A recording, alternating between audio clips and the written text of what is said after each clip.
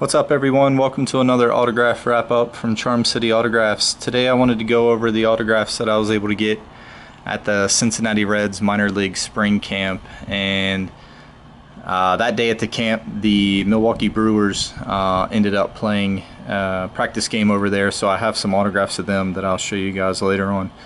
But first up we have Barry Larkin. He's a uh, instructor in the Reds organization. Uh, I've gotten Barry before in the past, and he he was pretty nice about it this year. Uh, it it seems like he doesn't really like to sign that much anymore. So uh, I was pretty lucky. I was able to get one from him. Uh, pretty happy. Uh, that it was this one because I'm trying to get this 25th Team USA 25th anniversary uh, set signed. Uh, I'm about halfway there, but there's some of the bigger name guys that I'm still working on. So, got Barry Larkin. Next up is Hunter Greene. Uh, you probably seen in my videos before. Hunter personalizes everything, so I had him make it out to me.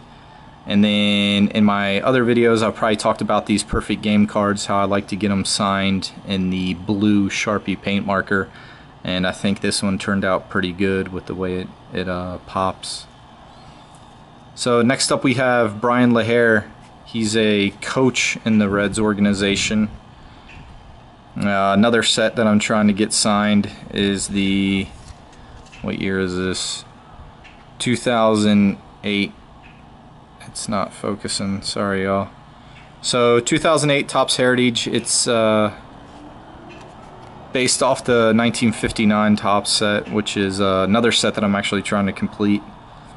So and next up we have is 2013 uh, BBM SoftBank uh, Hawks card from his time in Japan. And his Bowman rookie card. Bryan would only sign two for me, so uh, one of my buddies that was at Reds camp helped me out and get this one done. Next up we have former Yankees prospect Rafael De Paula. Uh, think he was a, a top 10 prospect for the Yankees back in the day. I believe he pitched in the Futures game uh, as well, but I'm not too sure. Next up is Ricky Gutierrez. The Reds have a lot of uh, former major leaguers that are coaches in their organization, and Ricky is one of them. Uh, I've never gotten his autograph before, and he was nice enough to sign four cards for me. So I always like to uh, add autographs of players that I've never gotten before to the collection. So that's the four from Ricky. Next up we have Adam Brett Walker. Uh, he's currently in the Reds minor league organization. Former Twins top prospect. Uh, played with the Orioles last year. Next up we have another former major leaguer, Micah Owings. Uh, he was actually uh, two-way player too when he played. Uh, I know everybody talks about Shohei Ohtani being a two-way player, but Micah Owings did it before him, and he actually wasn't too bad. So Micah was pretty cool. Uh, I think he signed five or six cards for me. I can't really remember. We'll find out as I go through them. So here's another set that I'm trying to uh, get all the cards signed from. This is the 2008 Topps. Uh, for some reason, I just really like that design. And the cards, uh, they seem to uh, sign very nicely. And then, yeah, so I ended up getting five of Micah. He was only going to sign four for me, but I had a Reds card, so he said he would sign that one as well. But, uh, super nice guy. Next up, we have Vladimir Gutierrez. He ended up signing two cards for me. And if you ever have trouble recognizing Vladimir, just look at his neck. He's uh, he has a giant spider web tattooed on his neck. One of the few minor leaguers that I've seen that has a neck tattoo. Probably the only one. Next up we have Jacob Heatherly. Another uh, really nice kid. Always, always signs. I've never seen him turn down an autograph yet. Uh, another one of the Reds' top prospects is Shed Long. I wish I would have had more cards of him to uh, get signed because I think he's going to be good, but this was the only one that I have. Next up, another coach, uh, former MLB player, Delino DeShields. Uh, his son plays in the Rangers.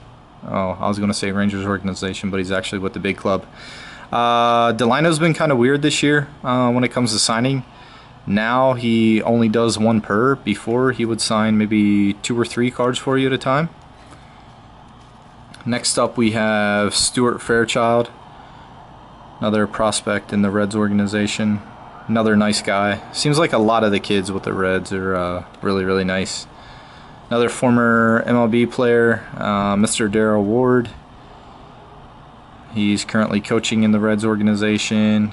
Uh, another guy that I've never gotten before in person. I've had friends uh, get his autograph for me, but this was the first time that I ever met him and I believe he signed four cards for me.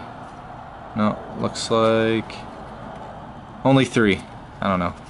There might be more in there. Uh, next up we have Jeter Downs. Uh, not the greatest autograph in the world. You probably would never even know that that says Jeter or Downs. Uh, he, I guess he personalizes everything. Uh, I didn't know that. Only had two cards. He signed one, but can't complain. I've never gotten his autograph before. Uh, next we have TJ Friedl. Uh, he was kind of weird with his signing.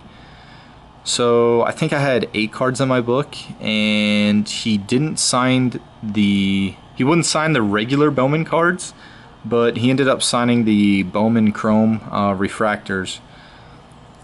So here's some of the regular cards that he signed for me. And then here are the Bowman Chrome. They're called uh, Mojo refractors. Uh, they were in those Bowman mega boxes that were only at Target. Everybody was buying up trying to find the Shohei Ohtani card. Uh, another one of Friedl from the Stars and Stripes set that uh, Panini came out with. Next up we have Chris Okey. Pretty nice guy. He ended up signing two cards for me. Nope, three. I lied. Another one, in that Team USA set. Uh, next up, we have former Mets uh, top prospect, and he, I believe he was a top 100 prospect. Uh, Dilson Herrera. The Reds got him in the Jay Bruce trade. Uh, he's kind of fallen as far as the prospect rankings go. Uh, I believe he was optioned to AAA uh, he ended up signing three, no, four, four cards for me.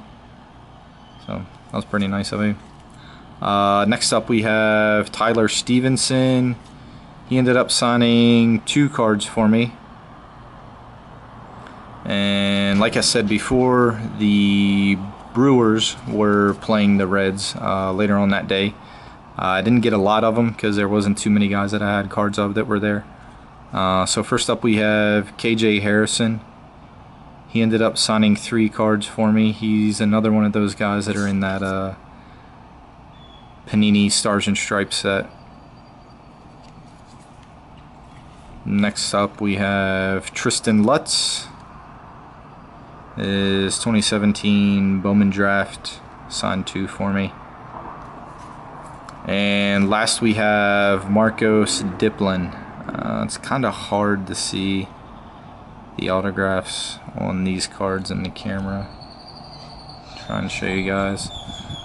So that's all the autographs from the Reds and Brewers uh, minor league games. I hope you all enjoyed the video and go check out the Charm City Autographs Facebook page and give it a like. Thanks.